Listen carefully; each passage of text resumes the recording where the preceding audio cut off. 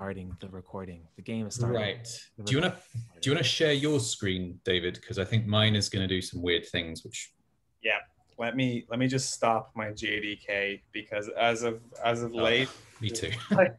if I run that in the background with absolutely anything else on, so GDK stop. Mark, you're you're you're still working off of uh, Linux, right? That's right. So you haven't had any Sentinel woes. I know. I'm I'm so glad I'm on Linux. I mean, it's a matter of time, I think, before we get forced to install something like that. But maybe not. Maybe it's forever going to be, you know, just you know, hands Safe. off. I think, yeah, I don't know. It's, I hope so.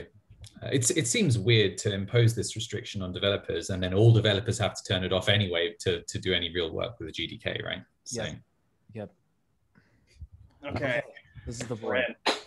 okay. So very briefly, I'm going to give you like the the three or four rules that there are, Paul. So black plays first, uh, then it alternates. Um, you have you you you can pass, um, and then if both players pass consecutively, that's the end of the game. Okay. uh, the game is about securing territory.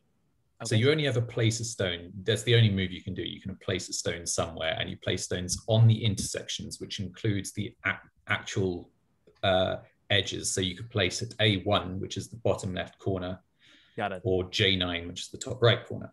Got it. Um, a stone is alive when it has liberties, and a liberty is an empty intersection uh, above, below, or left or right of the stone Okay.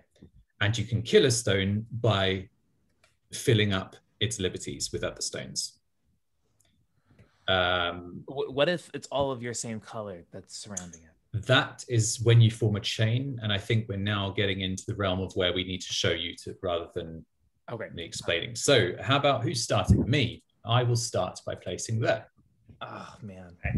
I'm gonna try and learn from the last. He got you, David. That was the place. got me. Wah. Uh-oh. Oh damn. Okay. So, I'm not entirely sure what I'm doing here, but I'm just going to. I'm going to be a bit risky and do something like that.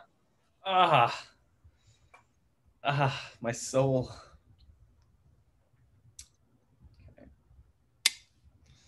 Interesting. So if I do that,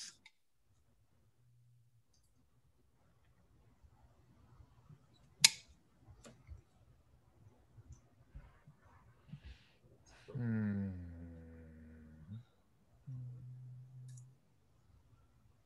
hmm, yeah, let's do that. Oh man.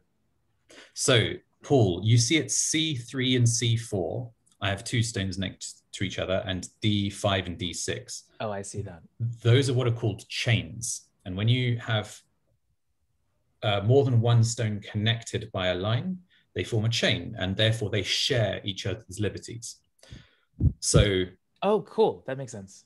Okay. So this the chain at the bottom left, C2, C3 and C4 have liberties at C5, B4, B3, C2, and that's it. So David, oh, IP is gonna be so disappointed. David, uh you um if you put one between his two black chains, you pretend you you protect him from making even a longer chain. And that would right? Correct. So I could I could have put one at C5. Um But there's trade-offs there because like like that that may not he's already got two of those liberties around that. So I don't know. It's interesting. Hey IP, we we're we're pairing on Go right now. We're doing some some Go. That's cool. Mark taught me this game uh, a couple of days ago. And so this is my second ever game. We're getting into it. Ah, so it's your second loss, you mean? In fairness, you should have seen Mark's finishing move in our first game. it was pretty good. Okay. Pro- Probably Yeah. swapped like half of the board or something. So I really want to see some stones die. Come on, guys. You've got bloodlust. I do. I'm I'm I'm I'm in it. All right, I- I'll threaten a stone, and you can see what happens. Okay, he's now threatened my stone. I don't like it. So we're gonna try and defend. Go for it. Right, I'm going to threaten another stone. Who who's whi- who's playing white and who's playing black? Uh, David is white and Matt. Mark Okay. is black. Why are you always threatening me, Mark? Can't we just get along?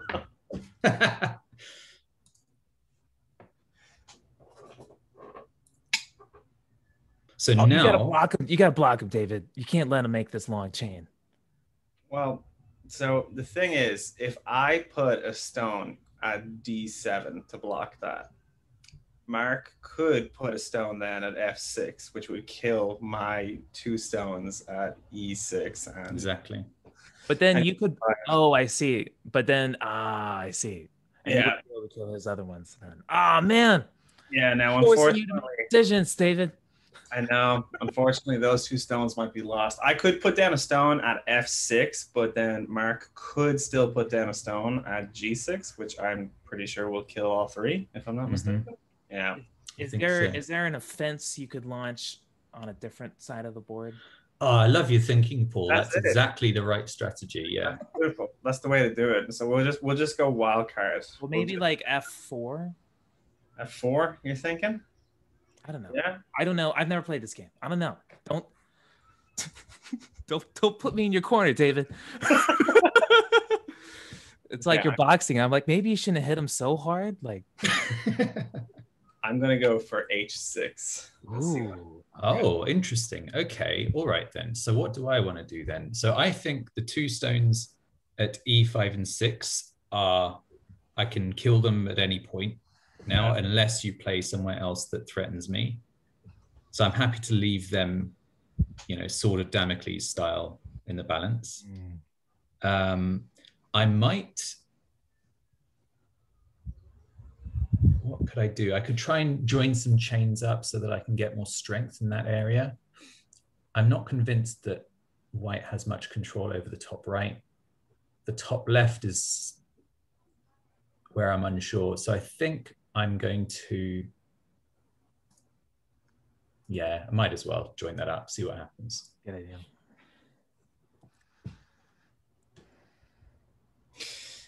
Okay. So what I think I'm gonna do is I'm gonna put one of your stones under a little bit of pressure.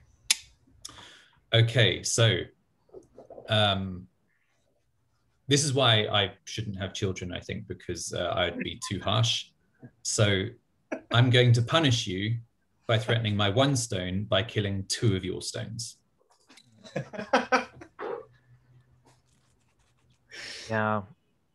I, I just I just learned recently in a podcast that that's the thing that you should do with kids, right? You should never let them win until they can win.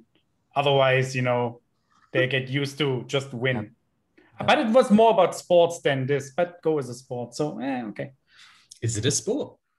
Probably if if chess is a sport, how couldn't go be a sport? So as as a parent, I think Yeah. the right thing to do is to hustle your children where they feel like they're doing good.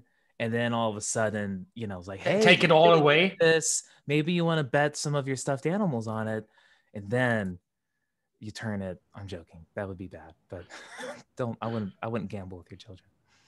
Maybe your adult children, but So something cool. Um, one of the key things is after happening here that Mark was teaching me, um, which is if you look at E6 and 5, you see the eye in between the set of stones. yeah, That is effectively claimed territory. I can't put a stone Right. in there or they're just instantly gone because they have no liberties. So Right. that is owned by Mark unless I can somehow disband that chain. So I have a crazy idea.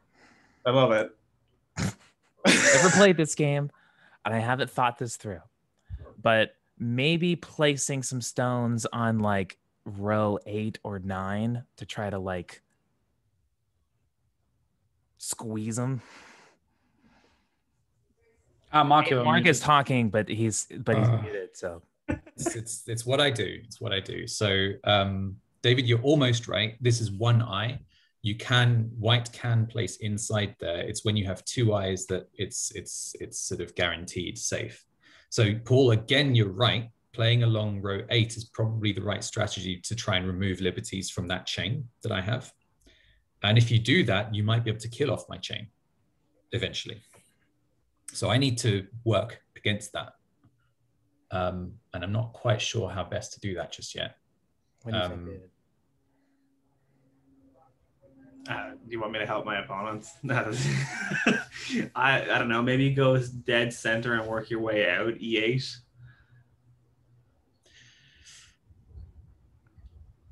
Yeah. Yeah. I, yeah, I, was, that- I was going to do that. Probably equivalent. I love how the timer on this thing is an hour for each move. It's because it's the I wanted to set it the maximum in case we got to talking and you know Yeah. Sometimes you know when you're when you're strategizing, you're like, I, I need to just meditate for 30 Mm. minutes. When um, me and Peter used to, um, what before he was away on paternal leave, we would play chess uh, once, twice, a couple of times a week, and then we started getting into games where it was like, well, we need about three days in between for moves.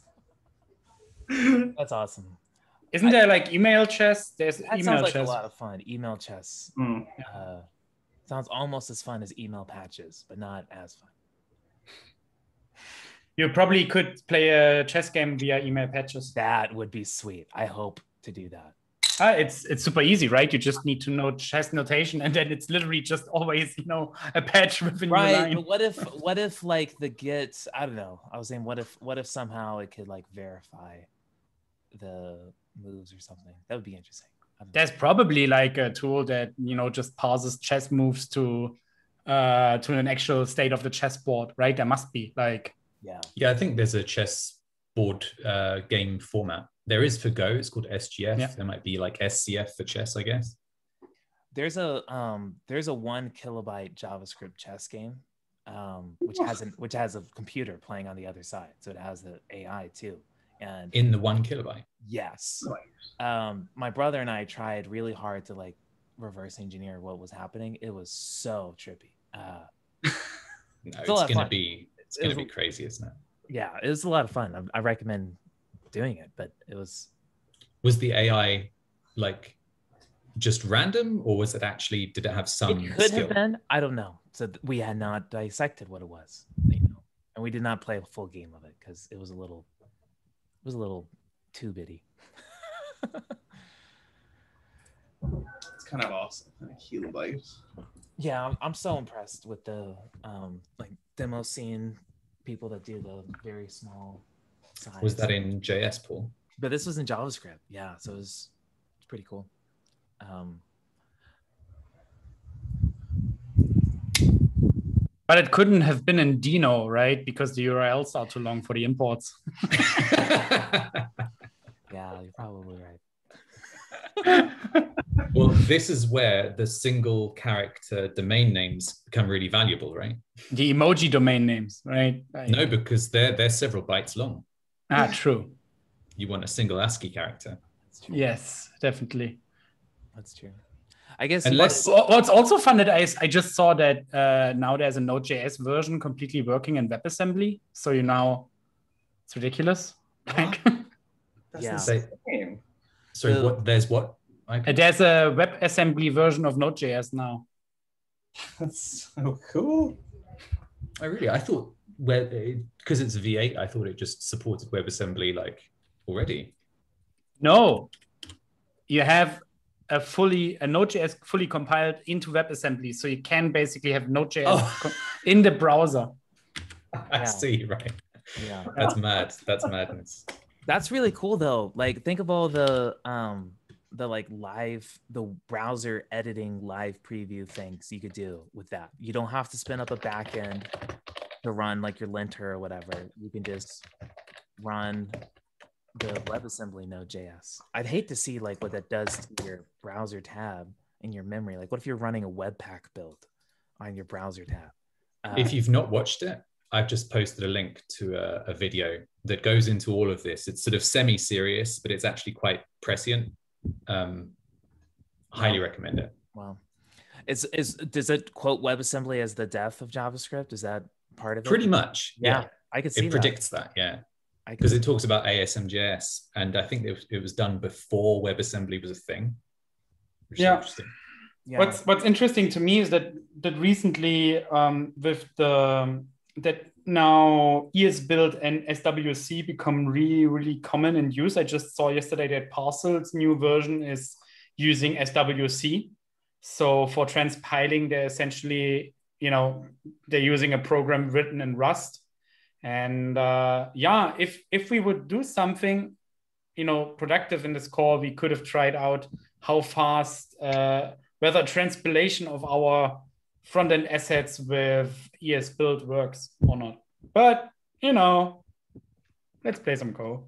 We, we can stop this at any point. no, no, we're gonna we're gonna see this through. I want to see it through. Uh, I imagine though it's possible for a Go game to last forever. The fact that you can take pieces off is it possible that not one that's maybe evolved this far, but are there games that could last forever? You mean basically you have like a glider like scenario, like in the game of yes, life? Yes. I don't think so because um, so there's one of the rules in Go is that you can't return the board to a state that it's in before. Whoa, my gosh, that's a lot to keep track of. Uh, it's actually not. It, it just means it essentially means you can't sort of undo the go the move that your player the other player just did.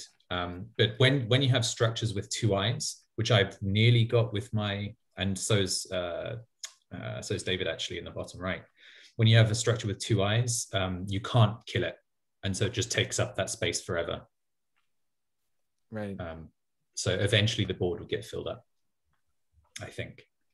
But you can just play an infinite board. Infinite go. Uh, right, I might. I'm I'm just excited to see how I'm gonna lose this one. It's gonna be great. This is when it's gonna be great. Uh, I, IP, have you ever have you ever done Rust? Nope. I I- it's it's it's my favorite language these days. I, Okay. I love Rust. It's really cool. Uh, and coming from No, I, I to be honest, like I haven't done a compiled language since. I mean, I'm not even counting Java, so like eight years maybe when I did some C at university. why aren't you count? Why aren't you counting Java, man?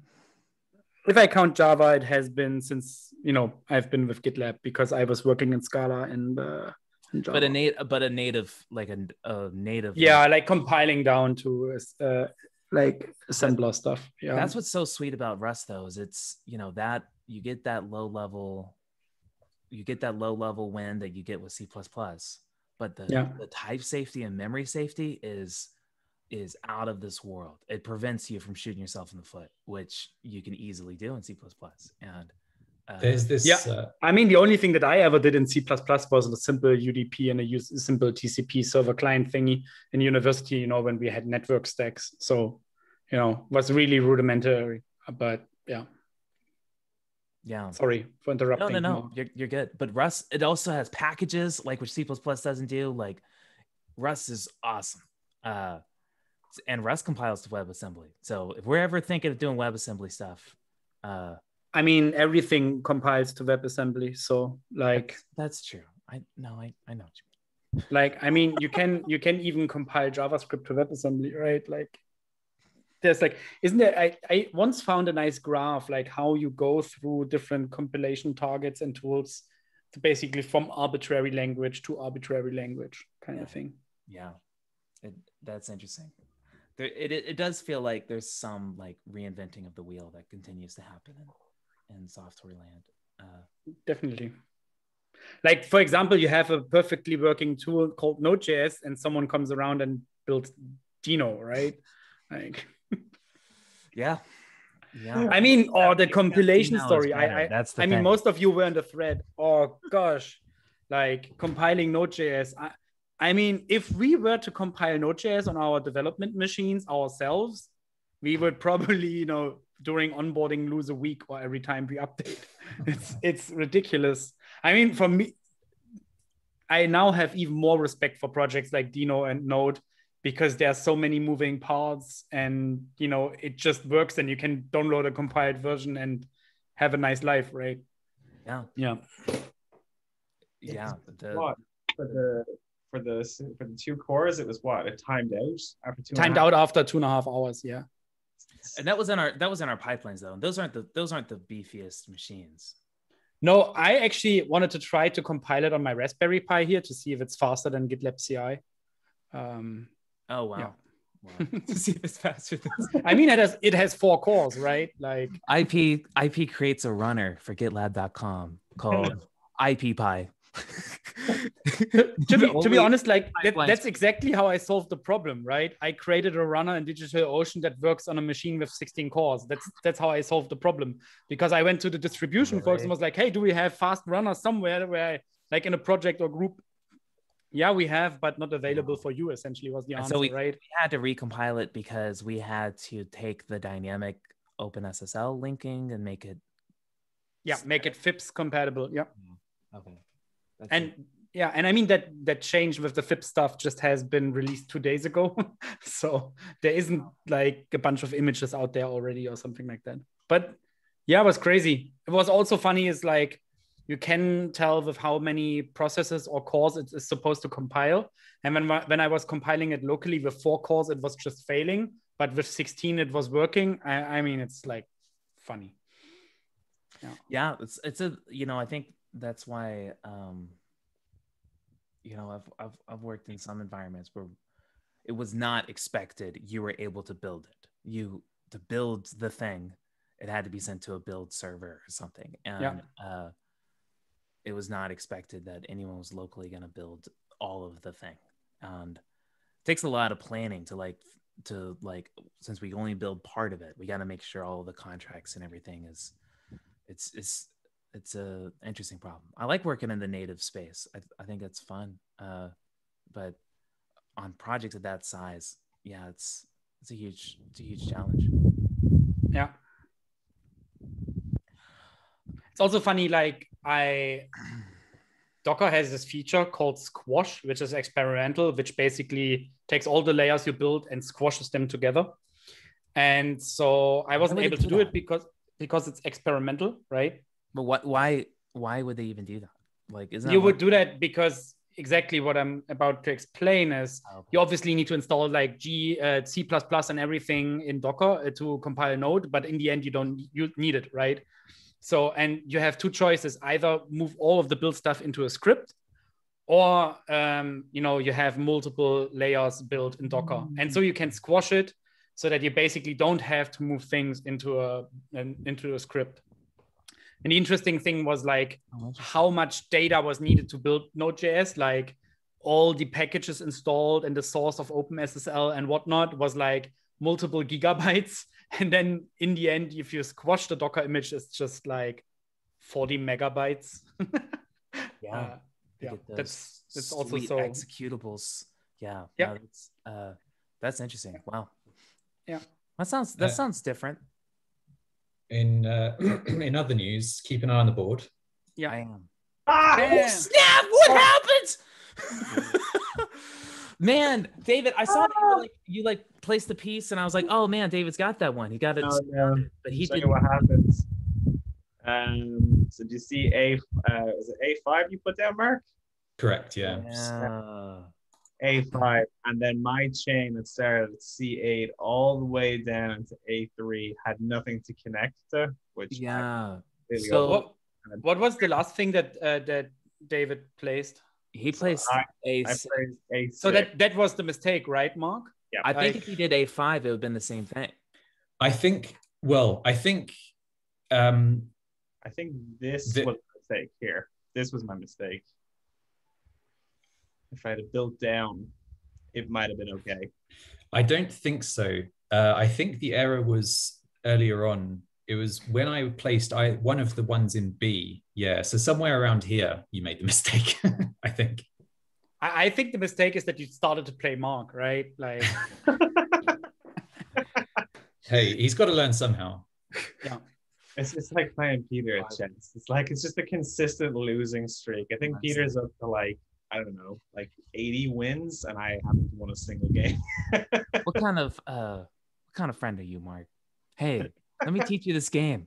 It's it's a Oh, colleague and not a friend, right? I'm joking, Mark. I'm joking. this is You're how you learn. This is this is how you learn. This is you know it's got to be tough. All right, I'm gonna try and double down on my fellow over here on the right, but I think this board might be lost to Mark.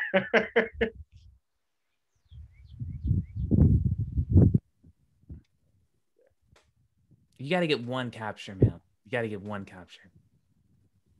Kind of have this. I have like this thing going on on the right, but it's like it's kind of disjointed and not really multiplied. Oh, Hey, folks, I have a great idea. Let's build a Go based capture that we call recapture, and you have to capture a thing on a Go board. We'll we'll have to link to like the rules of Go so that the users can read that first. Yeah. Maybe a short tutorial video or something like that. Yeah. Bad reality is that probably computers can do this better than humans. That's the Yes, nowadays, yeah. I mean, Go is still pretty hard for computers, right? Like, no, well, it's it's now nowadays the best Go machine will destroy the grandmasters. Yeah.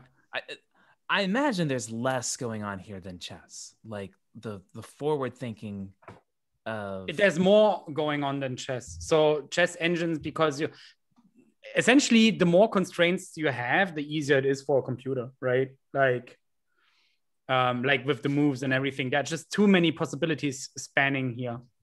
well, but there's more possible. I'd say there's more possibilities in chess.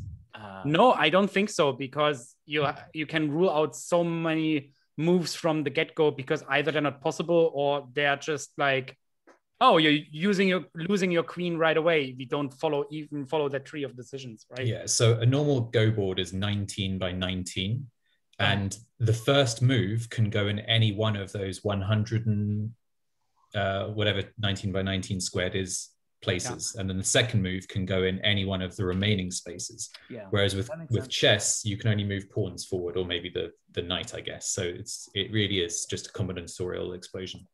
but I think um, a, good AI would group similar moves, and I think in in Go the the groupings of similar moves, I don't I don't see.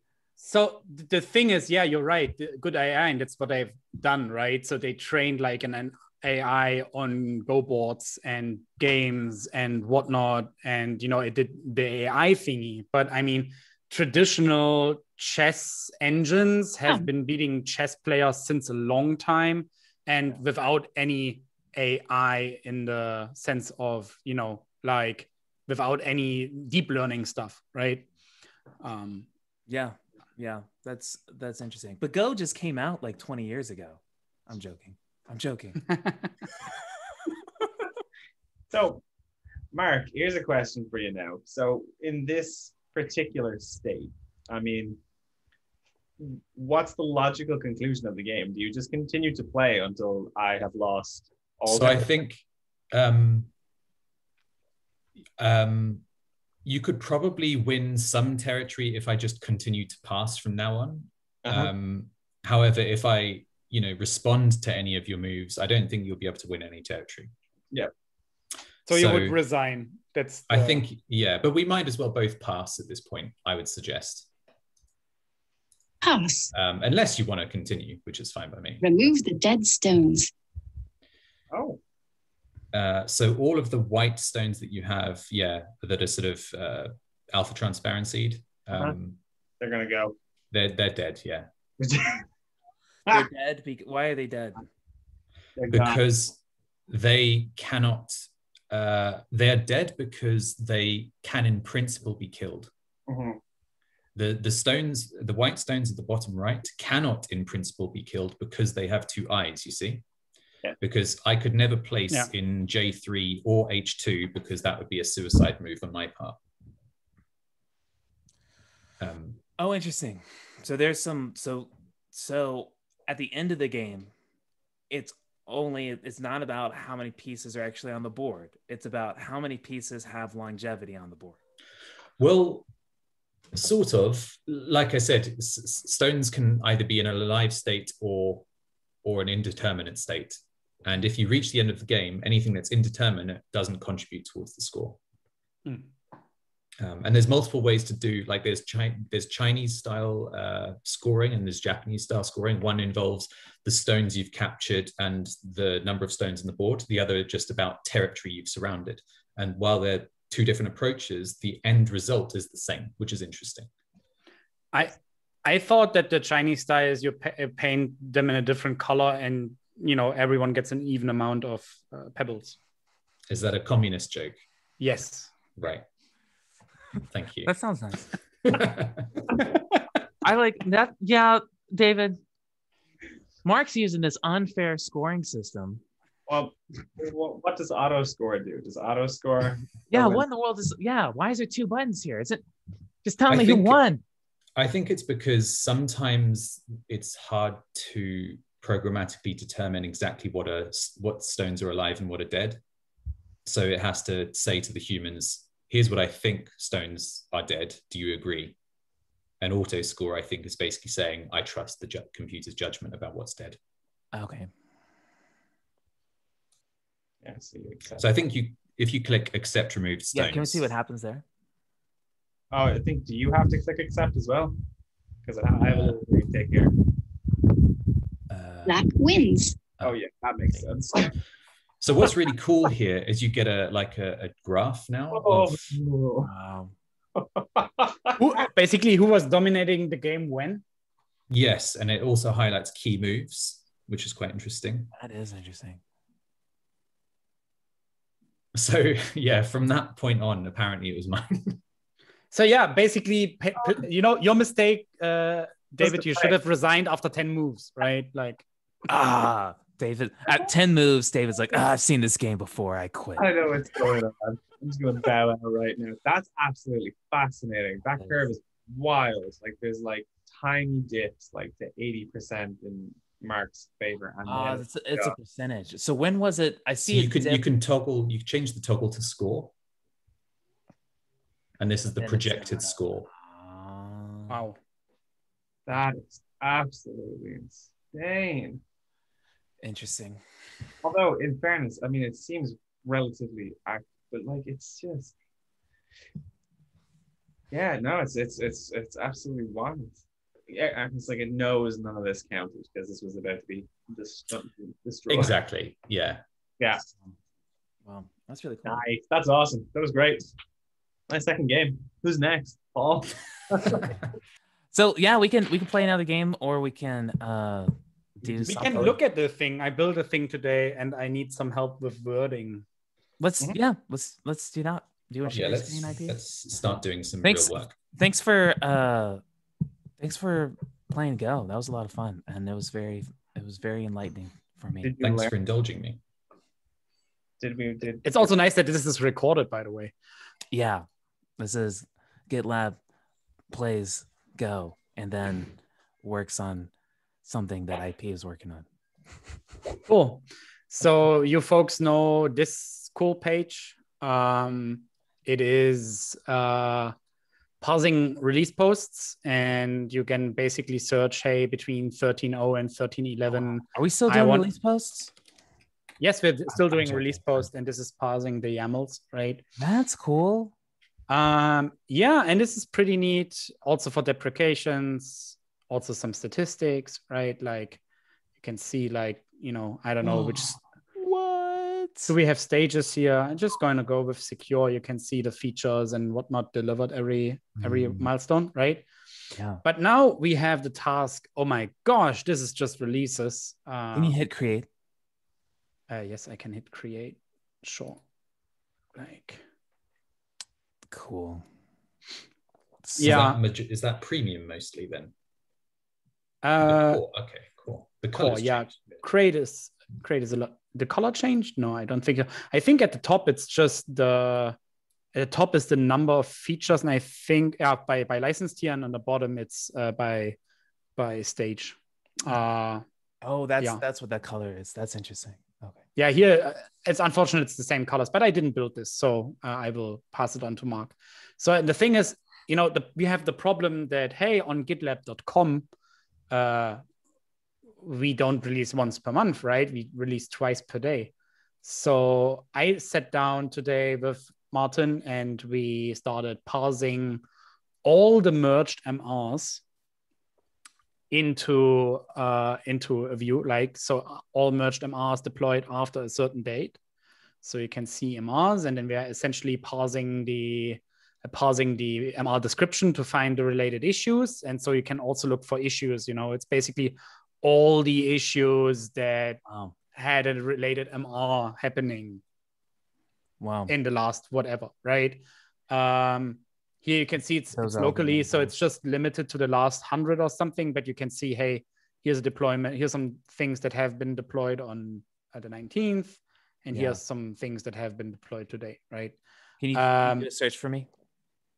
Uh, no, funnily enough, you cannot search for people because I'm dropping all the author information. Here, the interesting bit is basically, hey, what happened? Because sometimes people are like, hey, is this known? And actually, you could look it up here, right? If a certain thing happened. So you still can search for stuff uh, like um, per stage, right? So I don't know, you could go and search for DevOps secure, right? Um, Yep. and, and so Cool. okay.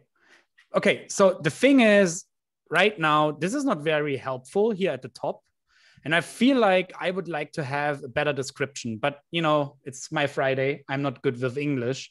So I thought we could maybe brainstorm how we could describe those four tabs so that you don't need a call with IP to explain what these four tabs do. And yeah, Okay. um, I don't know if that's boring and we should look at something else.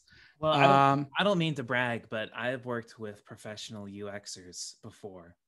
Um, Yeah. so I have some experience. Um, naming things. I'm joking. Mainly being told that I didn't name things well.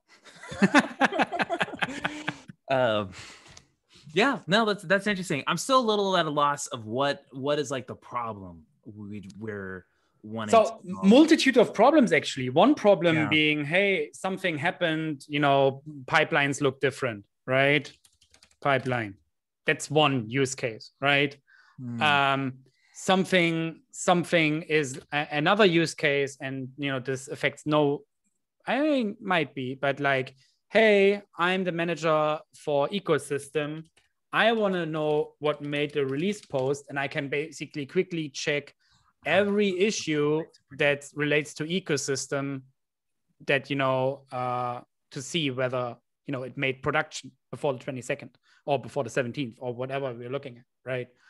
Um Yep. yeah. So there are a few use cases here.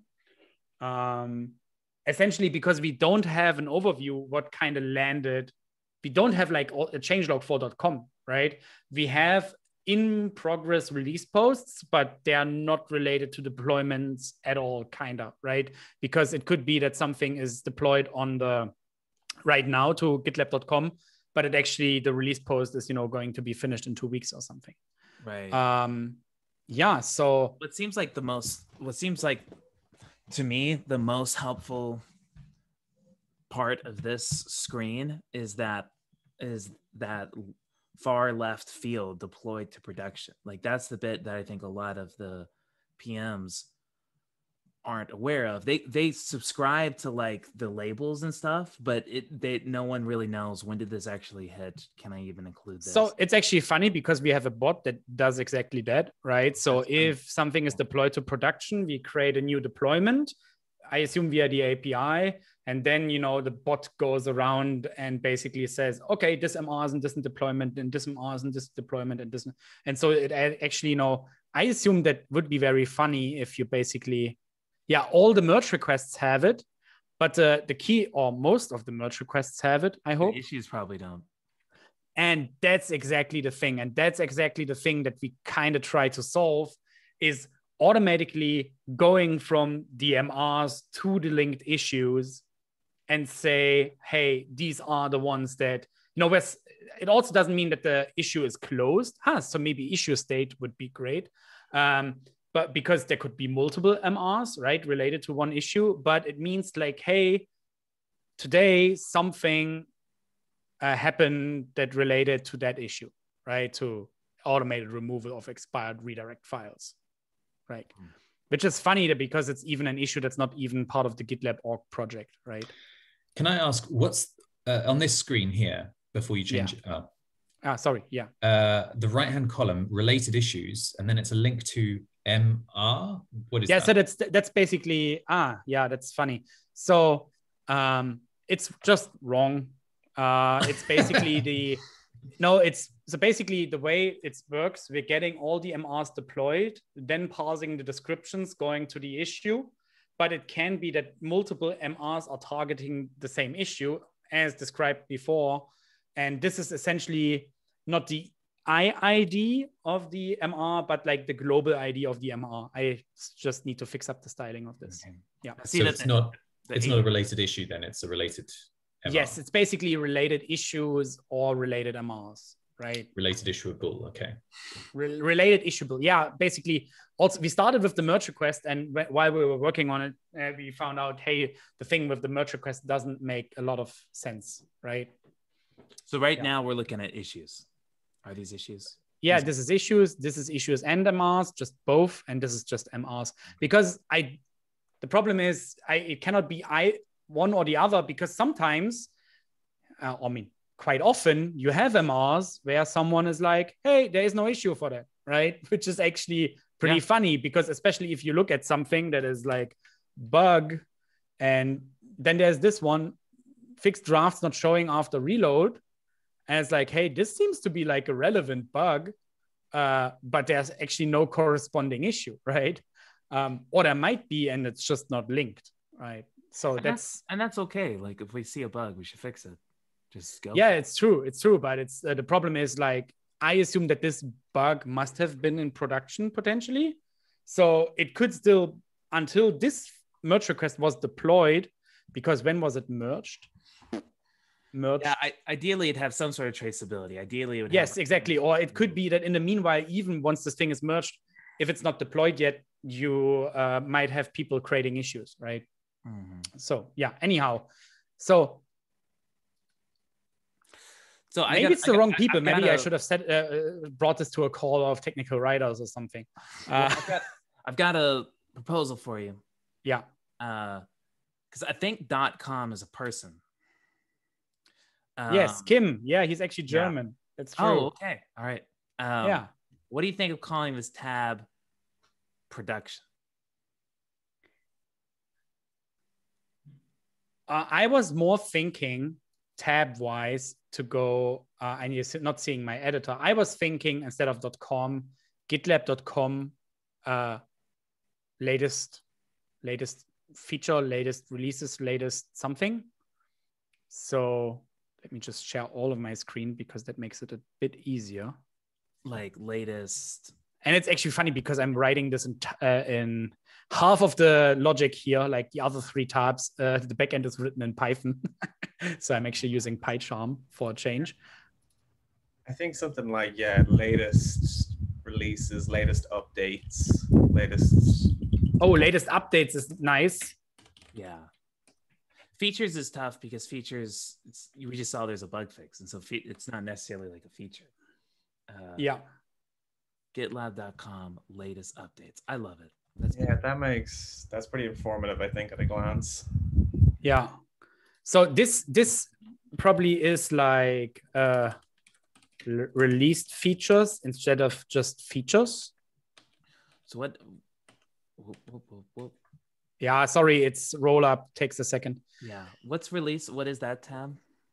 this one uh, sorry it's i don't have it locally right now this is basically the thing if you're not on com and you are oops uh, and you are like hey i i have a gitlab instance that's you know 13.6 i want to know what happened between 13.6 and 13.11 because i want to update to the latest version right This sounds like a change log.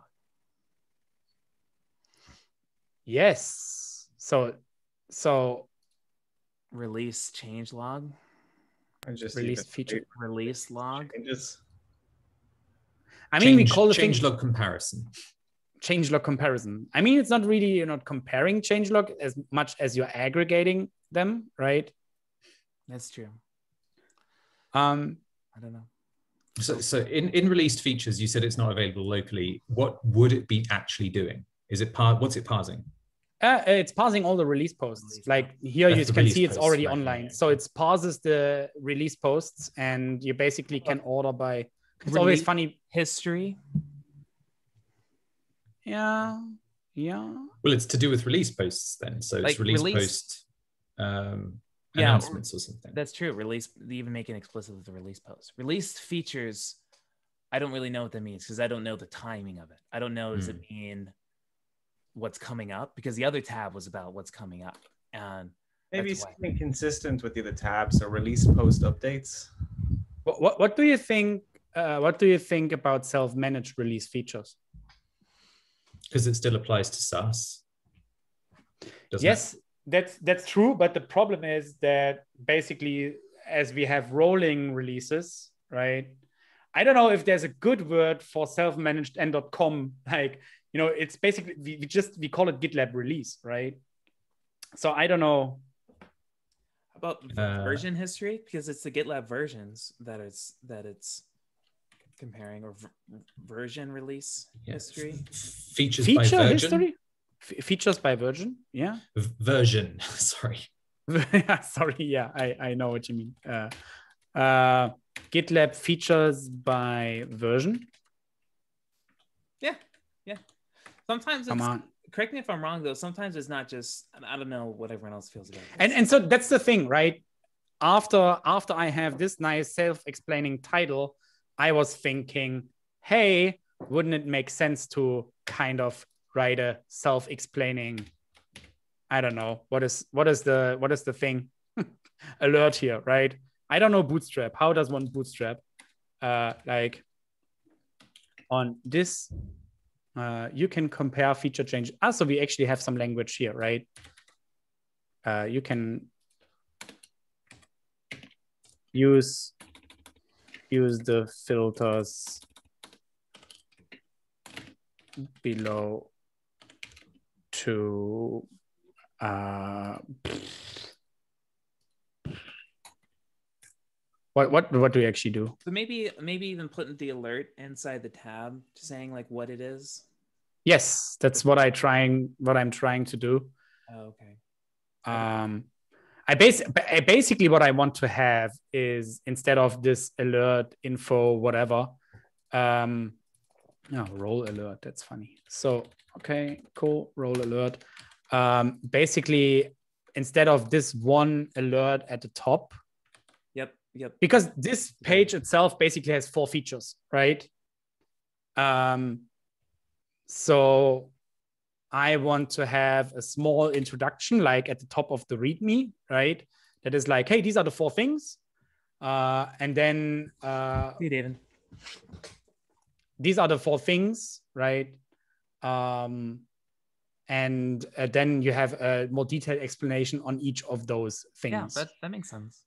That makes yeah. Um, yeah, that uh, that makes sense. What's the deprecations tab?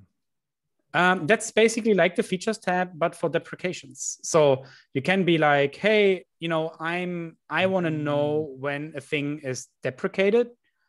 Um, and you can be like, hey, I don't know, I'm caring for uh, dependency scanning, right?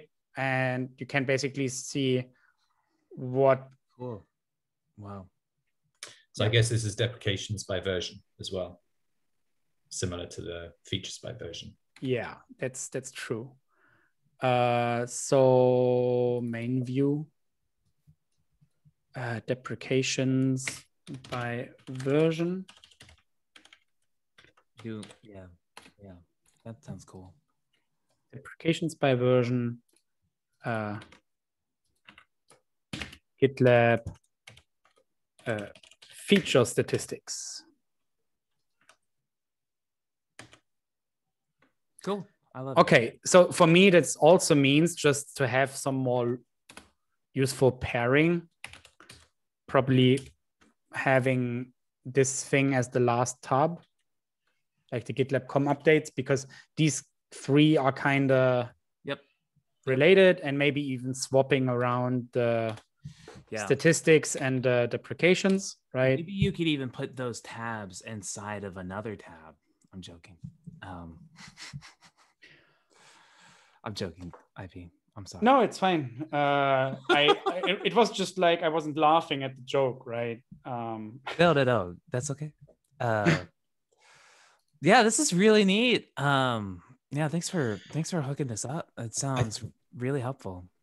I think like I, maybe this is just me because I'm this way Yeah. inclined. I, d- I don't know if a product manager would feel the same way, but I feel like I really need to know. I need to know where the data for each of these tabs is coming from. So features by version is coming from um, the release post. release posts, and the feature statistics is coming from release posts as well.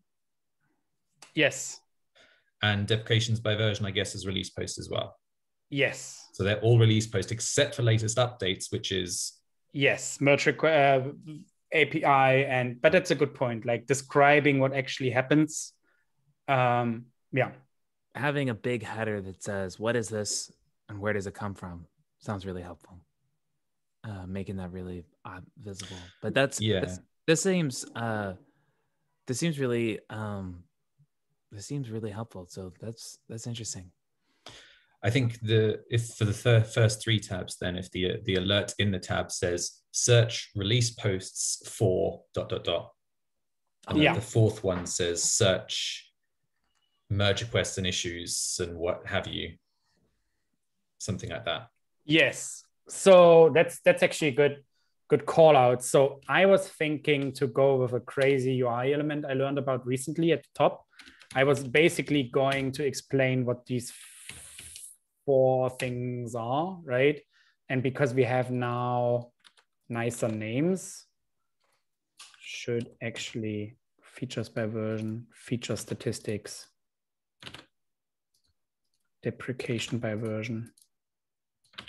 So what we could do that, but it's also like you realize we now are are, are copying the same text is visible out multiple times all at once. So maybe if Yes. wants to understand something, maybe it's just enough for them to just to click on it and to see. the, the, the, the problem is i basically want to have like a landing page where you Okay. under, can see what no, like one sentence right uh com- like these this compare all feature Yeah. changes between uh different releases right so Yeah. basically like hey uh then come, um see how many sees uh statistics um, on GitLab's feature development over time, right? Something like that. Um, and uh, deprecations. Uh,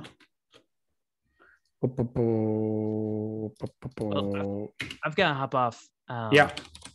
but this looks cool. You could like do like a really cool like application grid thing. Uh like the whole page takes up with these like a like a grid with custom icons for each one of these things. Uh and then maybe have stories. Anyways, IP. what? Thanks for work. okay. Have a good one. Have a nice weekend. Thanks for working Bye. on this. See you, everybody. It was fun. Bye.